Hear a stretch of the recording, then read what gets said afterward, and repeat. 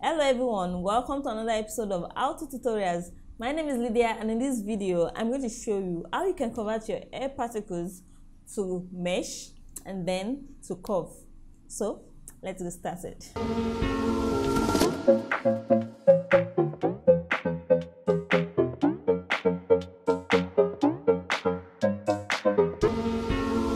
So this is the character we'll be using for this um, tutorial obviously you need a character or a particle in your scene so make sure it's selected. And as you can see i have a particle system here. So to convert to mesh what you need to do is go to the modifier tab. Under the particles you see convert. So by converting this you have a mesh. So let me put this aside. So with this now i can go to edit mode. So can see this this mesh is quite dense.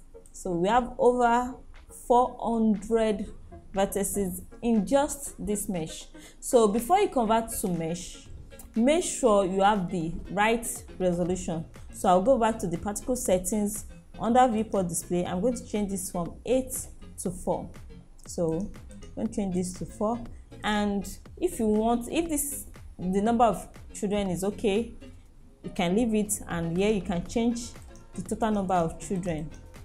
Let me change this to 30 so with these settings i can go back to the modifier tab and click on convert.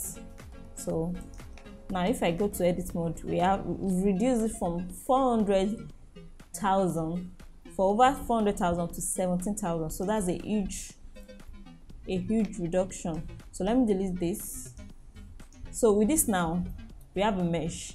Now to convert to curves.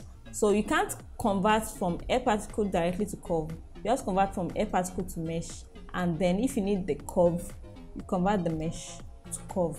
So with this selected to convert this to curve i'll go to object convert to curve from mesh. So with this now i can now go to the object data and change this to and change the depth so right now yeah it's not showing.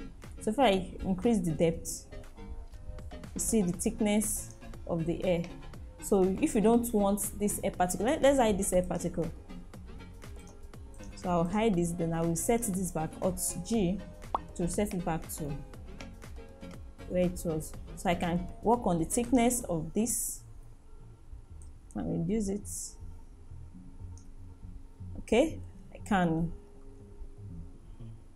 reduce the resolution and you can also use another curve to drive the shape of this hair this new hair. So you can now assign a new material to this. Let me give it pink pink hair. Let me increase the thickness. Yeah. So with this you have a pink hair. I can add a subdivision modifier so it's quite clean and fast. And that's it for this video. Thank you for watching. Don't forget to subscribe to our channel if you've not done so. Make sure you like this video. Click on the notification bell to get notified anytime we upload new videos like this. And uh, until next time stay true to your creativity. Bye bye